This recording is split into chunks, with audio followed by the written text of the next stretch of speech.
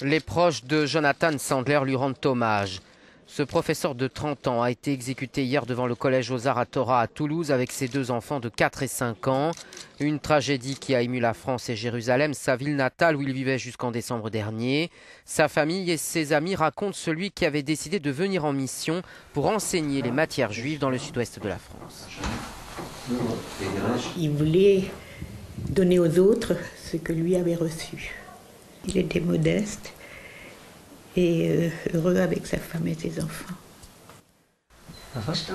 Émotion identique pour le cousin de Jonathan, Netanel Aviv raconte. Lorsque je l'ai appris, c'était vraiment, vraiment très difficile pour moi.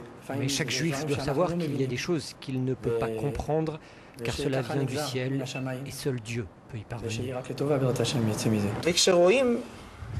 Quand vous apprenez que quelqu'un a été tué avec deux enfants, vous êtes interloqué. Mais lorsque vous savez ensuite qu'un homme a mené une mission spéciale pour cela et qu'il l'a réussi, alors là, vous êtes sans voix, explique son ami Yehuda. La tragédie de Toulouse a donc choqué toute la population de Jérusalem où a vécu Jonathan Sandler, mais c'est aussi l'ensemble de l'État hébreu qui est désormais solidaire de sa famille.